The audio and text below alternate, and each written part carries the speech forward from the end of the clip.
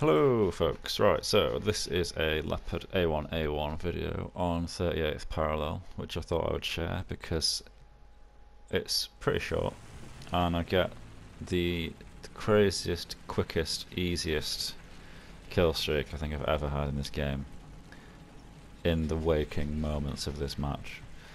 So I was playing this to grind out the KPZ-70 which I now have and it all just sort of worked out perfectly. So I don't even know why I'm facing a T-34-85, but he was there, and he's dead. Um, I'm using HEAT-FS because honestly, I don't care that it costs more. It doesn't seem to really set me back that much, and it's just better in like, every conceivable way. Honestly, the HEAT-FS is kind of like playing using the Chieftain's APDS. It has roughly the same pen. Um, it's basically the same round, it just has more drop, that, that's how I see it. Except obviously it's less effective against fancy new armor types. But if you know where to aim, then that doesn't matter. And uh, yeah, there's ways to work around it. I just think that having greater pen is more important than having higher muzzle velocity and uh, a lighter shell. So anyway, yeah, back to the game. Um, this guy, that was, I, I think that's a uh, T54 49, 51. It's not the up armoured crazy early one, so I'm surprised that the first shot only did his cannon breech, but uh, who cares, he's dead. So, and then this guy, um, I, at this point I was just like, you know what, I'm on a roll, fuck it, I'm going to take a risk. He, he somehow misses like terribly, and I third person him through the low plate, which was pure fucking luck. But who's complaining, right? Well, he is probably, but I thought it was, uh, I thought it was good, good play, if if really reckless as fuck. Um, and I think in a minute I can I spot like a T92 or something coming down the hill. Where is he? Uh, this was recorded like absolutely weeks ago, by the way, so I'm just going off memory at the minute. Pretty sure I spot a guy to my left at some point. Pretty soon.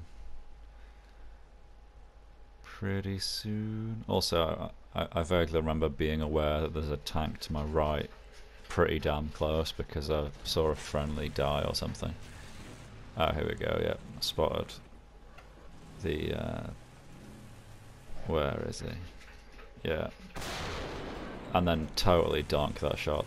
The, the, the one tank that would have been the easiest tank to kill that I've encountered so far, maybe with the exception of the T-34, and I fuck it up.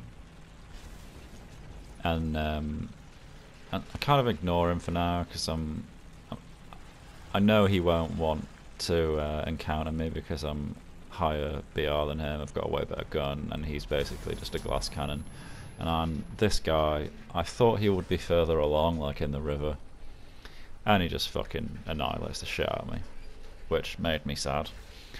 Um, so I hop into the ME410 B6R3, which has kind of become the A10 Warthog of War Thunder since the rockets got nerfed. Although I guess you could say that about anything that has the uh, German high velocity 30 mils, the uh, MK103s, I believe. But yeah, so I'm I'm unhappy with the team at this point because I've gone on an absolute tear, and I think at the minute I have like almost all the kills on the team. If I remember right, then there's like only one other person that's actually killed anything, and it's just a giant fucking slaughterfest and clusterfuck, and the team really, really aren't pulling their weight. And uh, it's rare for me to do well in that kind of scenario. Usually, if the team gets slaughtered, then I suck because I'm I do better as a supporting player than than the pushy, attacky kind of player. And uh, and on the one time I decide to be the pushy, attacky player, the whole of the rest of the team let me down, which is really fucking upsetting.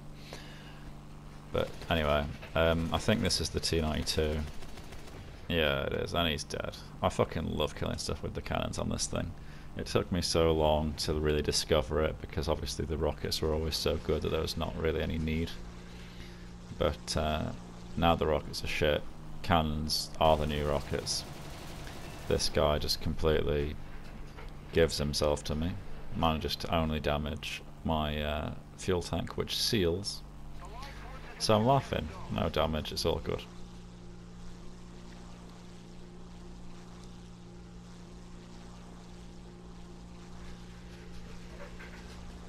So I'm hoping to get more kills. I don't know how many more, you know, just see what happens. Um, I cannot spot the guy on A to save my fucking life, even after watching this footage back a bunch of times. I still don't know where he is. I mean, at this point, because the cap, because the point is capped, I was expecting him to be driving off it somewhere, and um, I still don't fucking know where he is. Come back around and have another check, and there's another plane coming in.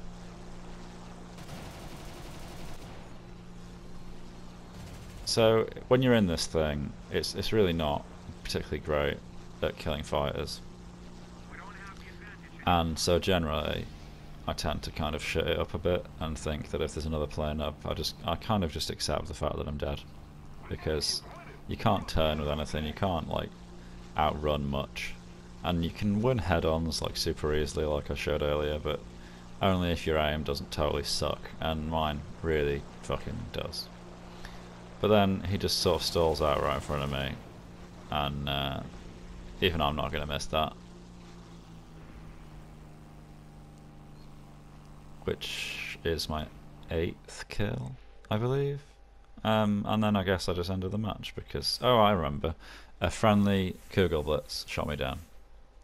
And I just thought, you know what, fuck this. And uh, we ended up winning anyway, so it's not a major deal, but uh, there you go. Epic super fast kill streak in the Leo. Easy two kills in the uh, B6R3. Match complete. If you enjoyed the video, be sure to subscribe for more.